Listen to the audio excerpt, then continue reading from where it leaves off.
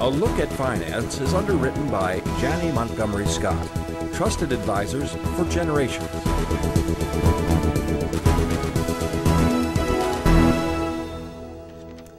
Welcome back to Look News. Stephen Carlton, first Vice President Janney Montgomery Scott. A happy new year to you, Thanks, sir. David. Happy New Year to you, too. Good to have you here. Our first segment of 2014.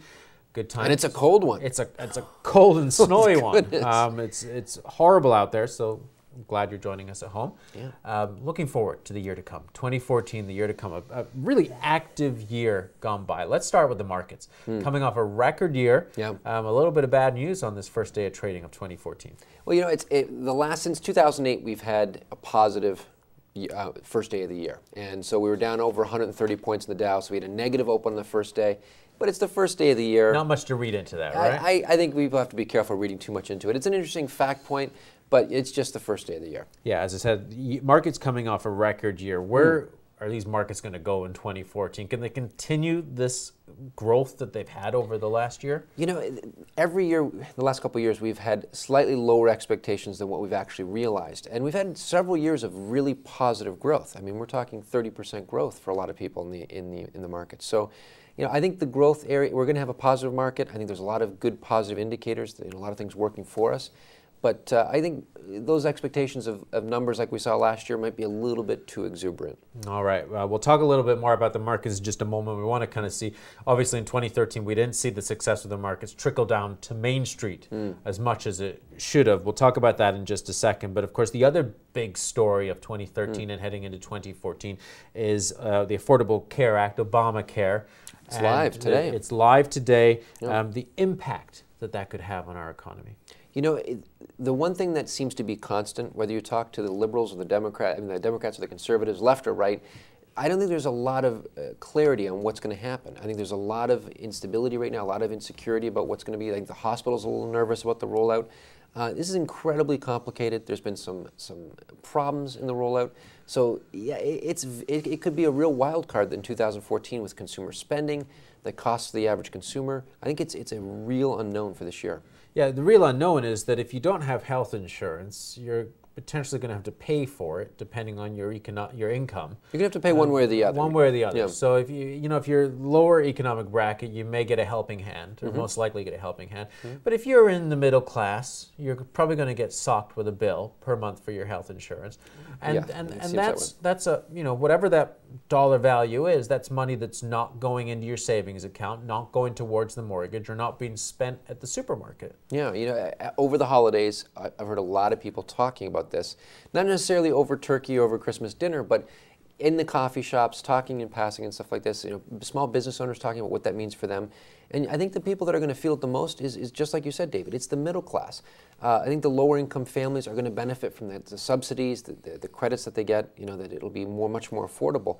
But for the average family that doesn't have it, has to purchase it this year, uh, a lot of them are coming back surprised at just how much it, it, it actually costs. I think there's a perception by some that it was going to be free or that the government was just going to give it to them. And, and a lot of people have been surprised waking up realizing it's actually something they have to buy. Yeah, thinking about the model of the United Kingdom or Canada, Hmm. uh, where they have universal health care. Of course, they pay for that through taxes, but perhaps not as much as we could be paying out of pocket here in the United States for a similar um, Yeah. healthcare system. Yeah, it's, it's consumer spending. It's going to come out of their, their paycheck, whatever's left. And so that's what the big concern going into 2014 is how much of a drag will that be on consumer spending? Yeah, how much more can people take? Yeah.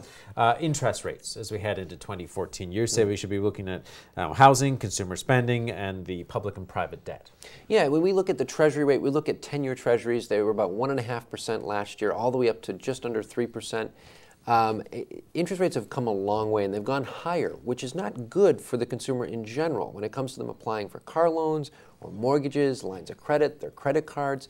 All those things, the higher the interest rate, the higher their payments are going to be on a monthly basis. So the, the interest rate level that we're at right now, Janet Yellen, who's going to be the Fed chairman replacing Ben Bernanke starting January 31st, her primary responsibility and, and a huge challenge for her is to try to navigate this uh, handoff and to try to keep interest rates stable, which is going to be incredibly challenging for her, I think, in this year. Yeah, Janet coming into the end of January. Not a lot of talk about her.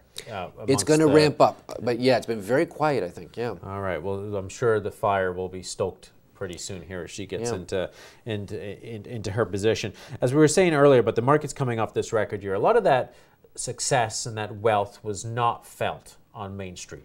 Uh, Folks are struggling uh, to, to, to make ends meet. Do you think this is the year that we could finally see some of that trickle down in you know to help folks that are are, are, are struggling?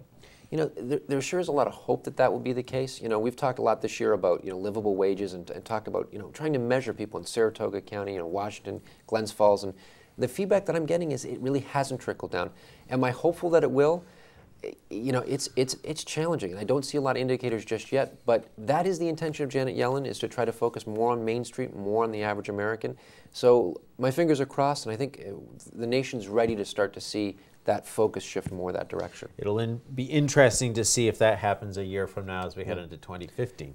That's right. We'll be talking about this year for sure. We'll, Yeah. we'll, we'll see that. We've got a couple of footnotes for, uh, for you tonight. Um, consumer spending over Mm-hmm. the Christmas holidays. We Mm. should be getting those numbers soon. That's a real strong indicator to how the economy is doing. Yeah, I mean, we talked about all the deals going into the Christmas season, the big, big discounts by retailers and everything else. Amazon, huge orders going into the Christmas season.